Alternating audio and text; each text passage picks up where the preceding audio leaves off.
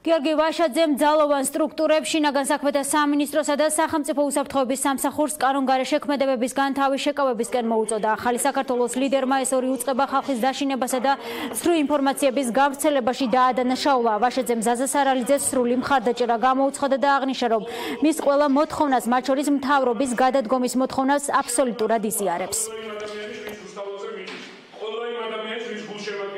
აღვირახსნილი საინფორმაციო კამპანია, რომელიც მთელი დღის მანძილზე სოციალური ქსელებით, თუ სხვადასხვა მედია საშუალებებით ცელდებოდა საინფორმაციო ველში, რომ გარკვეული იარაღების მიკერებას ცდილობდნენ პერსონალურად შულყდარ მამაზე. მე მიმართე ჟურნალისტებს. ნუ გაიმეორებ ძალიან გთხოვთ იმ სრულ ინფორმაციებს, რომელსაც ქართული ოცნება სუსის მეშვეობით ავცელებს, ქართული ოცნების ყველა პოლპარტიის ყველა წელს მიმართავ. ნუ წახვალ ხალხის ნების წინააღმდეგ.